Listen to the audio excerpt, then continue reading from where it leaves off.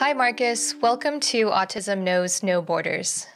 Thank you for being here today. Well, thank you so much, Autism Know No Borders, and Ms. Rachel for having me on this amazing platform. Could you please briefly introduce yourself? Hi, I am Marcus Leonardo Boyd. I am a four-time autism activist award winner. I am um, a clothing line owner of the A Collection. I am a professional DJ. I am a celebrity interviewer. I am a music producer, composer for almost 21 years. I play eight instruments, make 18 different genres of music. Um, I didn't start talking until I was 13, 13 and a half at a two-year-old's level. I had severe autism. Um, I still have autism at almost 38 years old. So that's why I became an activist almost three years ago because I wanted to be able to spread my testimony and to be able to help spread more of inclusion and awareness for autism. Great. Yeah, we have a lot to talk about today. We do. We do. It's kind of a lot. It's kind of a lot. Let's start with your childhood. What was it like for you growing up? You said that you didn't start talking till you were 13 years old. Yes, ma'am. Um, it was I mean, there was some positive sides. It wasn't all negative. It wasn't. It wasn't all negative. Um, but the, when it was negative, it was compact. It was compact on negativity. It was negativity, negativity. It was tumultuous. It was childhood abuse. It was mentally, emotionally, um, sexually. Um, it was abuse. And it mm-hmm. was very bad. It was 16 different mental institutions. It was electrical shock therapy. It was um, forcing me to take pills. It was Ritalin, Paxil, Depakote, Lithium, Seroquel, Zoloft. I mean, it was 500 to 1,000 milligrams a day, two to three pills a day. Um, so it was a it, it was a, lot. I mean, six, 17 different foster homes, four or five group homes, three or four different emergency children shelters. I mean, we talking about two or three states. I mean, it was it was a lot. Mm-hmm. And me not being able to verbalize made it much worse. Yeah. So, what led you to be in those situations? Um, that's a good question. That's a good question. You, want to, you might want to mark that down as a star behind that. um, I think for me, um, I think that my biological father didn't understand uh, mental mental situations um, or mental or or the way that or the way that you think when you dealing with those type of situations. I think he wanted a son that he can show off baseball, basketball, football, the normal man stuff. Um, not a son that's using a bathroom on himself or having a temper tantrum or having an emotional um, behavior or scratching or biting people or um, you know making excessive loud noises and different things of that nature. I think for him, it became an embarrassment point because he couldn't take me to the park and do the normal father son things. Um, so when he broke my ribs when I was five in two different places, and um, you know, I think for him, he was trying to do God's work. Let's take him out of here. Mm-hmm. So I don't have to deal with it. I have other children. So they don't show those signs. They're not doing A, B, and C why do I have to deal with this from this one child? So I think that's how I got into it because, you know, I was tragically and horribly abused as a child. Mm-hmm. So from that point, when did you start living in foster homes and group homes? Um, 1987. I was four. 1987. So you have to understand in the state of Georgia, foster care really was not a big thing, but it was like a thing. And in DeKalb County, it didn't it didn't exist at all. So a young lady, the young, she had to be like three, four years old. She was in foster care already in DeKalb County. So I was the second one. So that made me the first male to be in foster care in DeKalb County, in Decatur, Georgia. And um, so my social worker, she was an intern, Dorothy Carr. She was an intern at the time. Uh, just so happenly, she was my biological mother's uh, best friend from college. So, like, you know, when this stuff was going on, you know, when I was getting burnt on the stove, when my ribs was getting broke, when, you know, when I was getting stumped, when blood and stuff was coming out of my mouth at four or five years old, you know, she, Dr. Carr was the one that got the emergency contact through the hospital because you know, if something happens to me, she was my godmother. You know, mm-hmm. you understand what I'm saying? But she was mm-hmm. just interning to be a social worker for DeKalb County DFCS, you know, DeKalb Family Children's Services. You know what I'm saying? So um, it just so happened that God put an angel to protect me through the storm. Mm. Yeah, that's a lot to deal with at such a young age. I mean, for anyone really at any at any age. How did you cope with all of the abuse that was going on? I didn't really understand it. I didn't really understand it. That's just to be quite honest, if I can be honest. I didn't really understand it because my my whole thing is this. You know, I'm I'm seeing fathers and mothers pick up their kids from school. You know, we're talking about 87, you know what I'm saying, daycare and stuff of that nature. I'm seeing this stuff. And I'm not understanding why I gotta go home to the people I gotta go home to. That's the only thing I was thinking. Like, I didn't know if God made a mistake like when he was issuing out parents or something like that. I didn't know he probably just wrote my name down too fast or something. I never understood why he gave gave me the parents he gave me if they didn't want the person that I was. Hmm. Okay, so take us through the next few years of your life. Okay. Uh okay, so from five, six, seven years old, we talking about in and out of multiple foster homes all the time. So um, I may be in one foster home three weeks, one foster home two weeks, one foster home two months, one foster home three months, one foster home 30 days. I mean, it it it all depends because with each situation, I think Dr. Carr was overprotective because with each situation, every time she did a family home check visit, it was something wrong. Mm-hmm. Um, especially the foster home that I first got into with the Jamaican family. And when they was tying me to an old heat furnace with honey rope, and um, you know, they was using a miniature 12 gauge to hit on the left side of my face. And when he used to, the father used to spit on me and curse in his language and stuff of that nature. So I was tied up every day for two hours. So I think when Dr. Carr came for the home visit and she knew, see, I stayed with Dr. Carr. See, I stayed with her family. I stayed with her three kids. I stayed with her husband. So this is, was before she actually got hired as a social worker with DFCS. So I was I was there for almost a year. So she knew my patterns. She knew, you know, how to talk to me, how to communicate with me, even though I couldn't verbalize. So she was one of those people that was patient, kind, understanding, and meek. So um, when I get in this Jamaican home, my attitude changed. The noises change, the sound effects changes, the characteristics change because I'm in danger. And I don't know mm. how to verbalize that or speak it outward that I'm in danger. So, you know, when the family had to do the family um, self check with off the car and stuff of that nature, she knew when she looked at my face that something was terribly wrong. Mm. So basically, what I'm gonna put in my book, you know what I'm saying, is gonna we're gonna start that next year. But you know, I ain't gonna tell that story. But in the long run, in the long story short, she got me out of there. She got me out of there. Yeah. Did things get better as you progressed through middle school and high school? No, it got worse.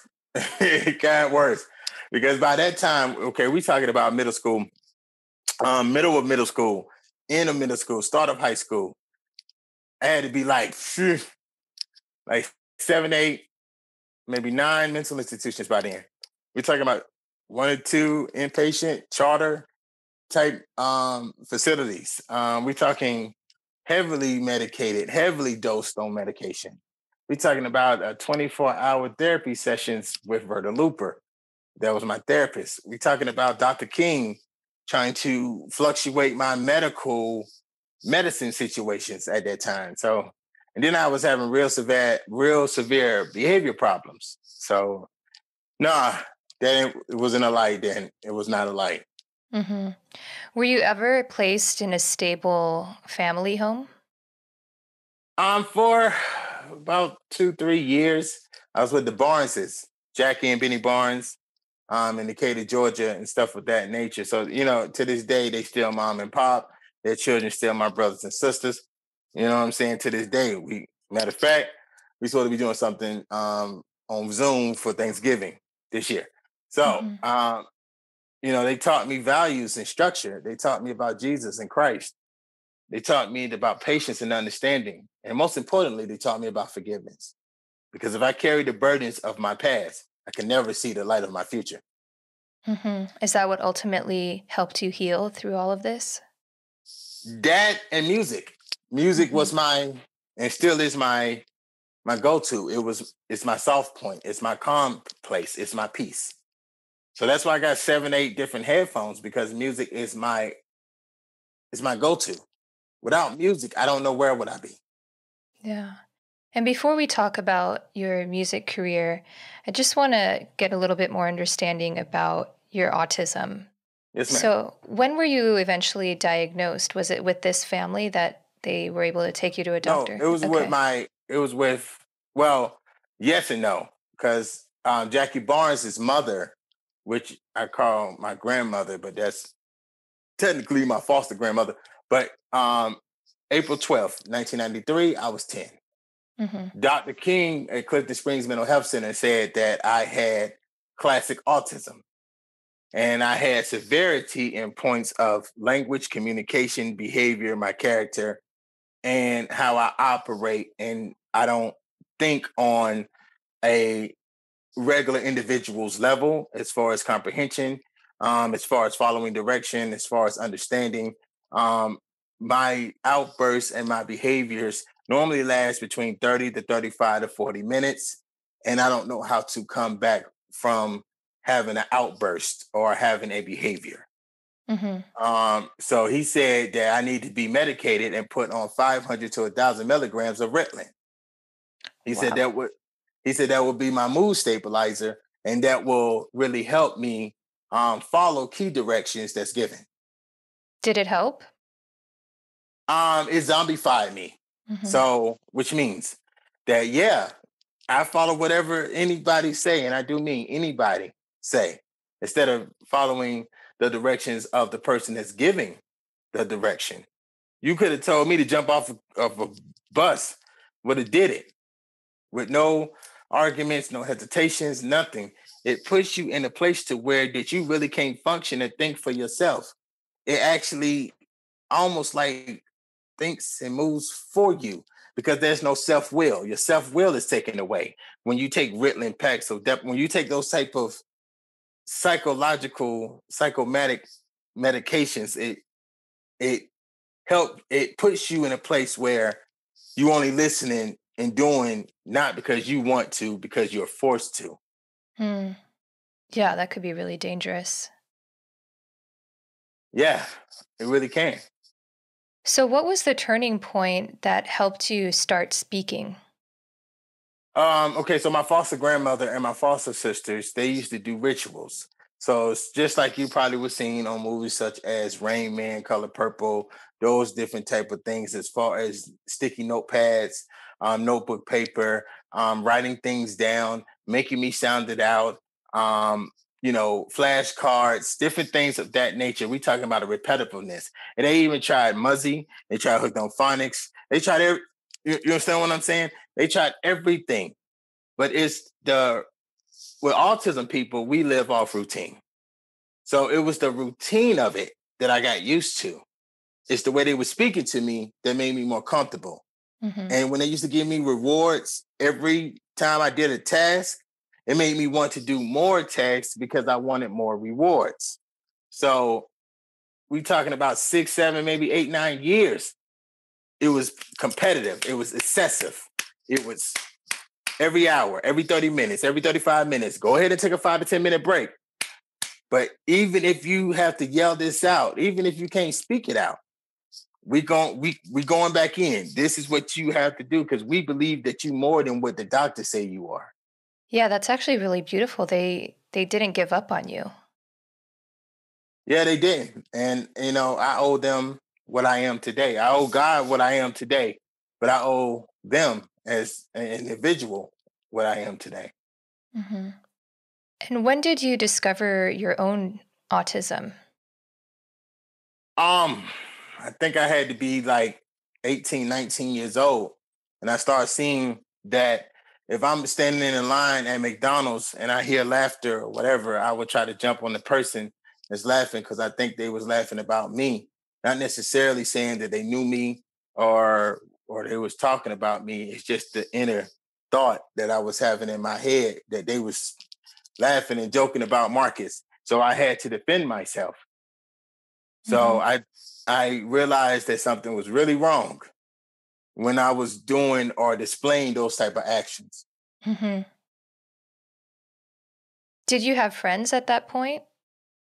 Uh I did have friends. Um, not a lot of them. Not a lot of them. My friends' stories go in and out. It's like movies. They happen, little action, then we don't be friends no more. That's like most of like my past relationships. It's like that too.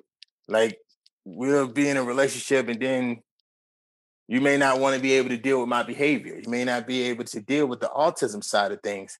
So you want to move on. Mm-hmm. So, I mean, you know, it's life. Is there anything that you struggle with on your end with social skills? Yes. Um, I still, even though I'm a people's person, some circles I don't like to be around as you know what I mean, as far as communication is concerned. I like better doing video than some personal face to face type of situations because I can be in my comfort zone, I could be in my room or whatever have you in my space. I'm not necessarily in your space and still have to speak to you face to face. Mm-hmm. Um, so some colors still get to me, even though I'm a music producer. Some noises still can be a trigger for me. Um, you know, certain foods I still don't eat because of the color texture of the food, even at almost 40 years old. I don't I think people think that when you become verbal, you totally lose autism. And that's a myth and that's a lie. That's not true. You you become verbal. God bless you yes, God is, you know, allowing you to have that step, but you still have autism for the rest of your life. You still need certain people and certain positive auras and things in your corner so you can continue to excel through your life. Mm-hmm. Yeah. So, actually, Marcus, sorry, I want to jump back to the thing you were talking about before about, um, you know, jumping on people's backs and realizing that you were different, right? Mm-hmm. So, did someone actually tell you that you had autism? Like, how did you find out? Um, a girlfriend of mine told me that I might have bipolar or I'm schizophrenic at that time. So her father, I guess, was a psych, uh, uh, the psych, psychology or psychiatrist.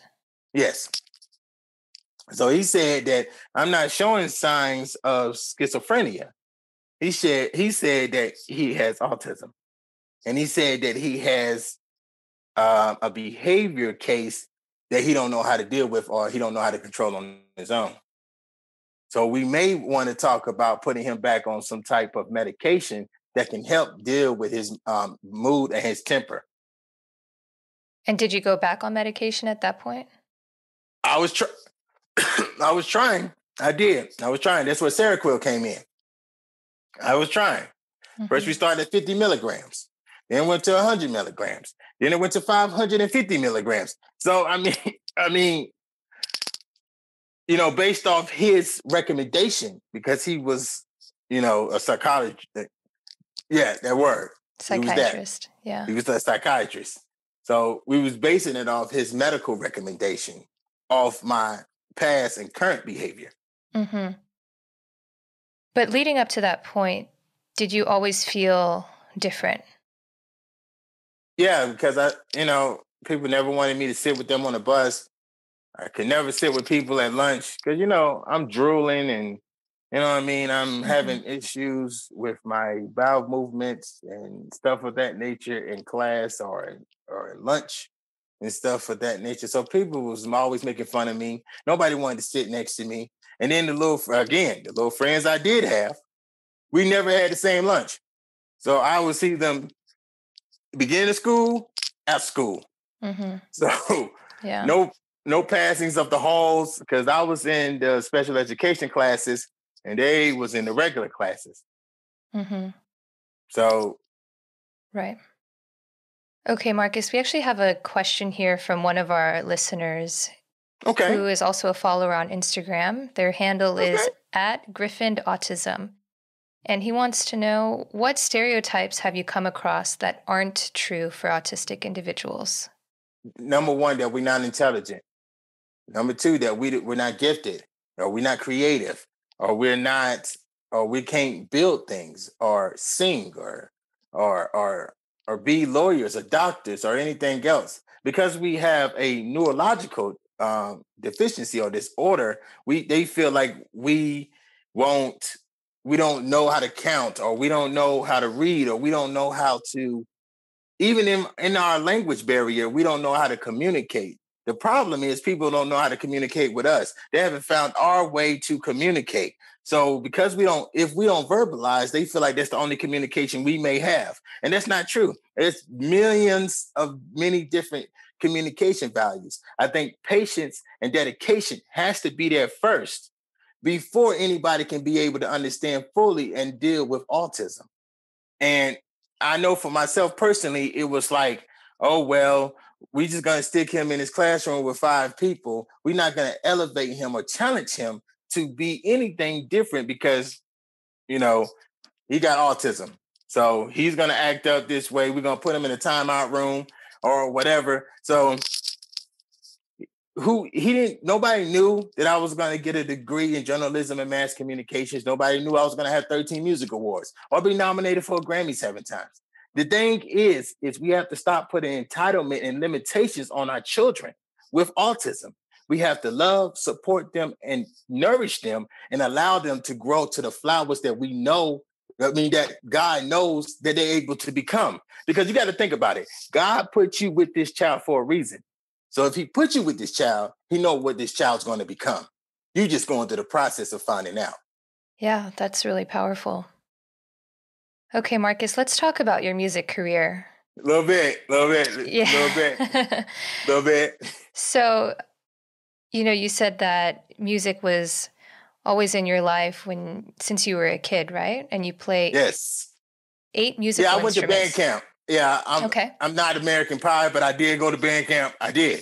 I mm-hmm. did. It was a church. It was a church um, organized band camp. So the you know little girls on one side, boys on one side. We all ate lunch in the same little wood place. So you know I played the tuba and I started with the violin. And every time when you got on the bus, they gave you a free wood flute. Yeah, they was giving out free wood flutes back in the day. right. Yeah. And what is your favorite instrument now? Trumpet. Okay. Is there a reason for that? There's a trumpet in every genre of music. Versus uh-huh. whether it's a silent trumpet or it's a loud trumpet based off the keynotes. There's a trumpet instrument in every genre of music, gospel, jazz. I don't care whatever it is, rock. I don't care whatever it is. There's a trumpet in every genre. You can't live without a trumpet, trumpet and drums. Mo- mm-hmm. Those two things is always needed in music. It's trumpet and drums. Interesting. I never thought about the trumpet like that. Yep. Yep, and it's a conversation piece. Let me tell you something. I am not trying to be funny, but I was not really the ladies' man. But when I started playing that trumpet, let me tell you, tell you something. Okay, they was leaving notes in my locker. Okay. All right. And how did you get involved in the music industry? Um. Okay, so I was in Atlanta. I was 15, about to be 16 years old. A cousin of mine knew um, one of the members from Organized Noize and stuff of that nature. You know, those people who produce major people like Outkast, Goodie Mob. Um, you know what I'm saying? Mm-hmm. Those mm-hmm. type of people. My cousins was best friends with one of the original members of Organized Noize. So um, when I met him, he gave me an Acer laptop and Fruity Loops One. I had a demo version of Fruity Loops One. See, I'm showing my age. I had a demo version of Fruity Loops One. Right now, these kids got what? Fruity Loops 10, 10, XL, 11, whatever. I mean, they might be on 12 now. Who knows?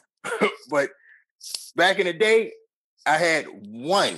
So I had to learn how to infuse live instrumentation with digital beats with BPMs. You understand what I'm saying? Because the beat will always be off from the live instrumentation because you're trying to balance and blend them together.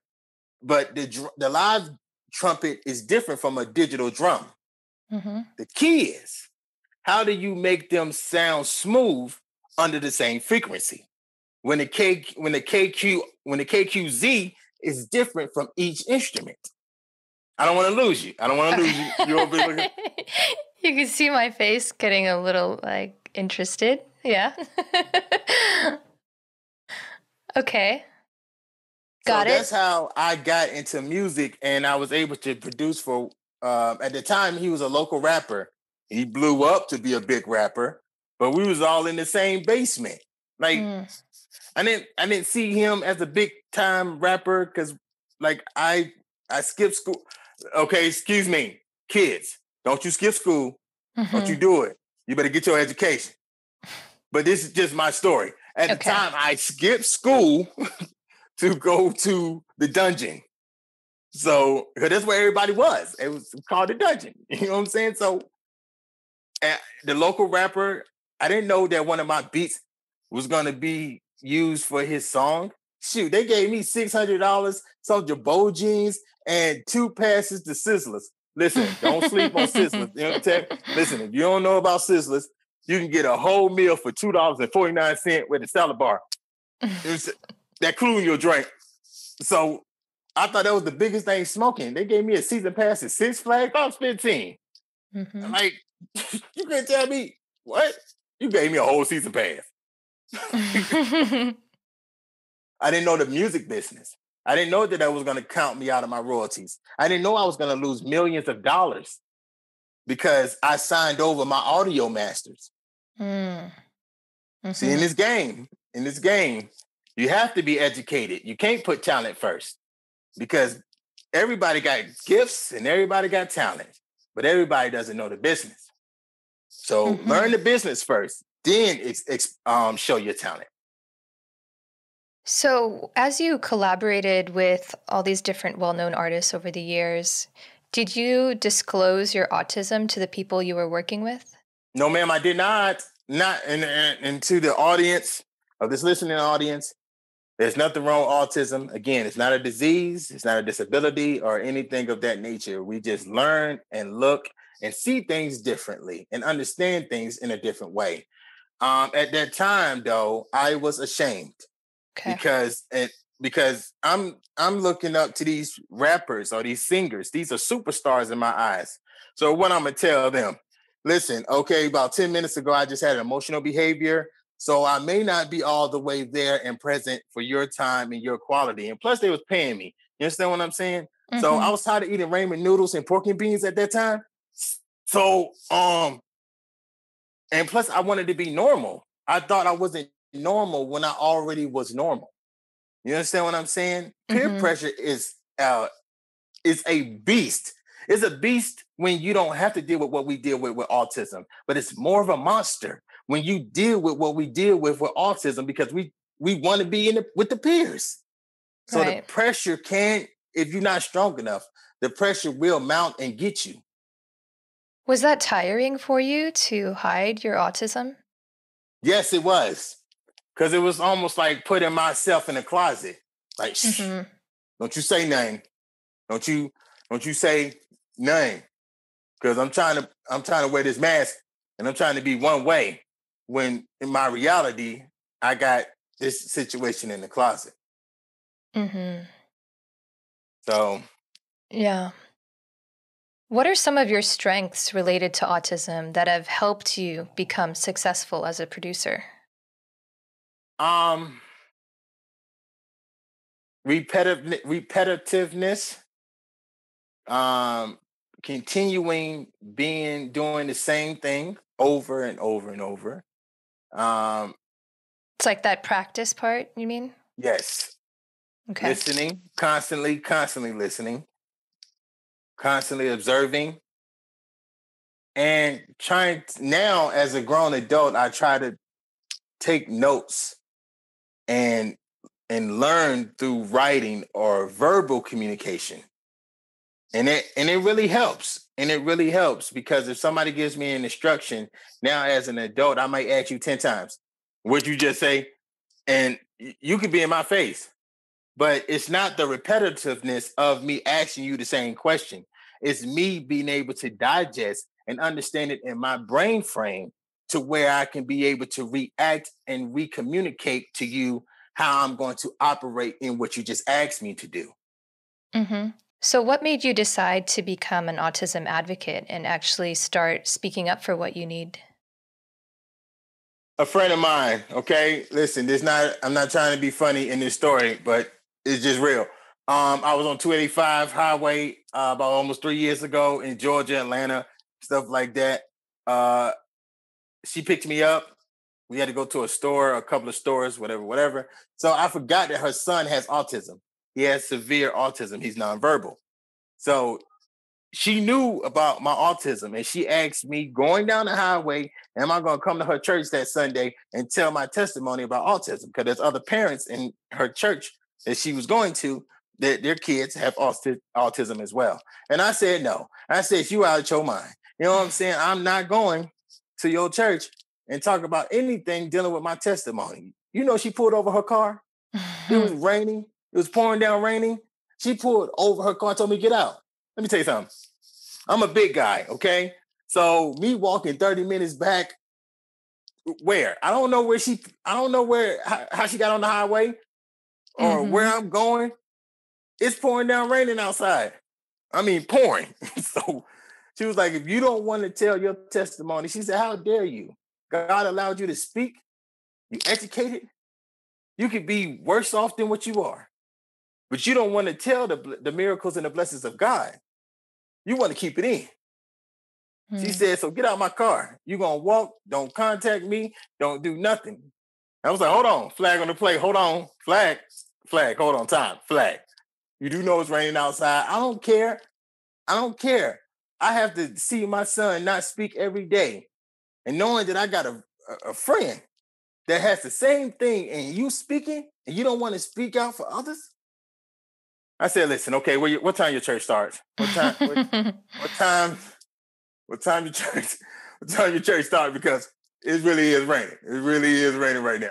So I didn't know when I went to her church, and I started telling my story that all these people was coming up to me asking questions and different things and looking for advice or whatever. It, the embrace was so powerful and it was so loving.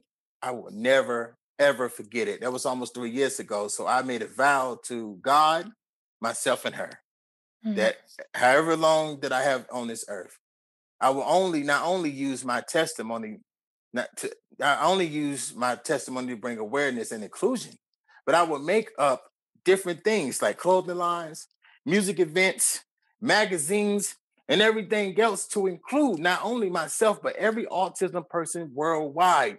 Be able to spread their stories through docu-series and other doc and other documentaries. Because it's not just my voice, it's many other voices that needs to be heard through this community that we live in. Mm-hmm. Yeah, and let's talk specifically about the Black community. Okay. So, is there any part of your advocacy work aimed to break the stigma of how autism is viewed specifically in the Black community? It's about to start. It has not been in the past, but it's about to start.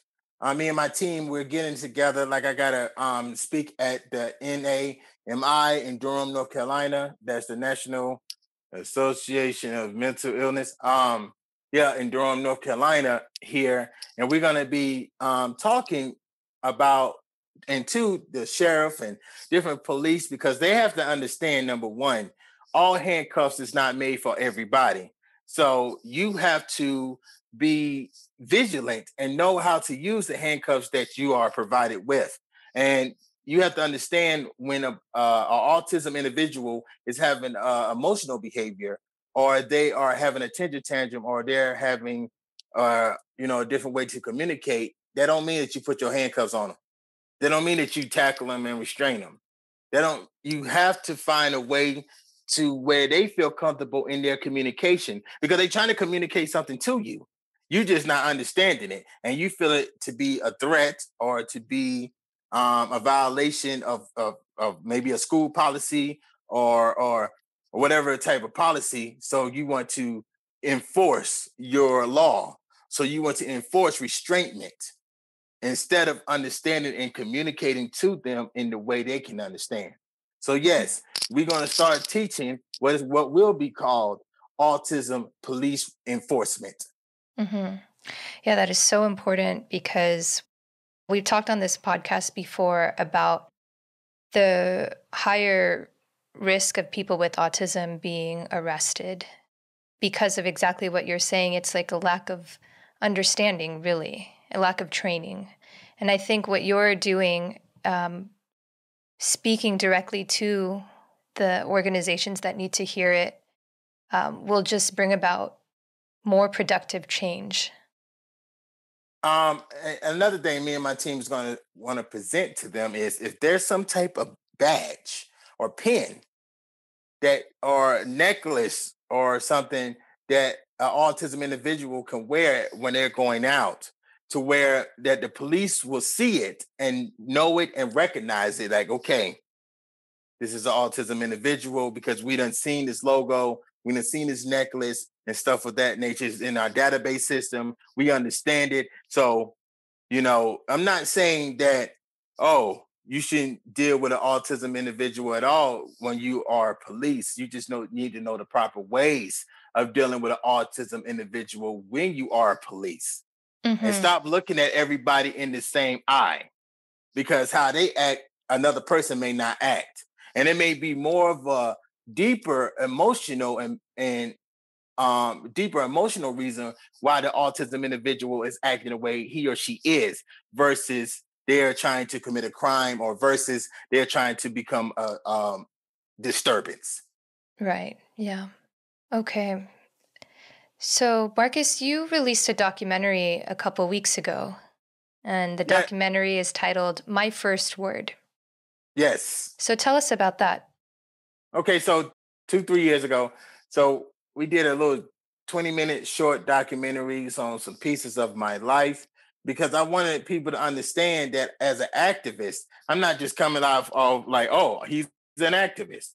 No, I live this. Autism is me, and I am autism. Autism can't define me. I define autism. So the thing is, is that I come from this world. I'm not speaking to you because I done research or I went to school for this or or something of that nature. This is life for me. What I have learned is to be able to channel my past and my trials and tribulations and have them now be light and a journey guide to others who may be dealing with the same um, things that I have dealt with in my past. Mm-hmm. Can people access the documentary online? Yeah, you go on my Facebook because it's 20 minute piece. So I can't put on Instagram, on Twitter, Snapchat, stuff like that. But you go on my Facebook, which is Marcus Leonardo Boyd, or you go on my fan page, which is Autism Activist Marcus Boyd, or you go, I mean, is is many ways to see it. Or I put it in your inbox if you want to befriend me on Facebook. I'll slap it dead in your inbox. All right. Okay, Marcus, I'd like to close with one last question. Okay. What advice would you give to other people with autism who are interested in pursuing a career in music? Um, number one, don't let your current situation be your destiny. Use your current situation to define gravity, to define your gift, and to define who you are. Learn the music business. Please learn the business side first if you play an instrument, if you rap, sing, dance, or whatever, learn the business structure, the modules, the contracts, the managers, producers, PRs, agents, all these different things. Learn the percentages. Learn about SESAC and BMI and ASCAP. Um, you know, learn about the about um, you know, BDS and the, the Mediabase. And you know, learn how to properly, you know, um, title your music for the meta for the metadata sheets and learn the right people to to connect with and network with. Please, my autism family, don't use autism as an excuse not to excel and be great. My grandmother always used to say to me what I'm about to say to you, don't let your disability make room at anybody else's dinner table. And if two or three are gathered and they have the same excuse, you're eating at the same dinner table. Hmm. I know you can be like great, that. and I believe in you. And Marcus loves you. Beautifully said. Well, thank you, Marcus. You know, you're quite an inspiration to so many people. Your story is incredible and everything that you've overcome and how you've managed to um, to see another side of it and now use your autism to help other people. It's it's really really making a difference in this world. So thank you so much for sharing your story with us. Well, thank you for having me on this amazing platform. And I encourage others who have stories that deal with autism. If you volunteer, if you're a parent, if you are a social worker, if you're a lawyer for those in special needs, whatever your title is, you need to hit up Miss Rachel and you need to hit up this platform and allow your stories to be heard. Because remember, we only can teach what we learn and we're just going to continue to wear to bring awareness and to change the stigma of how people see autism. Yeah, let's continue collaborating for sure. I'm down. I'm I'm down, yeah. James Brown. That's all you got to do is email me. I'm down. Yeah. Thank you, Marcus. Take care. Thanks for tuning in to Autism Knows No Borders. Despite all odds being stacked against him, Marcus was able to overcome his obstacles with the loving support of his grandmother. His passion for music pushed him to continue reaching for his goals. What left you feeling inspired from listening to Marcus's story? We'd love to hear your thoughts and reflections. Visit our website, autismknowsnoborders.com, and leave a comment on this episode. You've been watching Autism Knows No Borders. If you like this video, please give it a thumbs up and subscribe to our channel. Also, we'd love to hear from you, so let us know what you think in the comment section. Click here to watch another interview from our podcast. You can also find us on your favorite podcast app. Tune in each week for engaging conversations of how people across the globe are inspiring change and building community. Thanks for watching. Take care.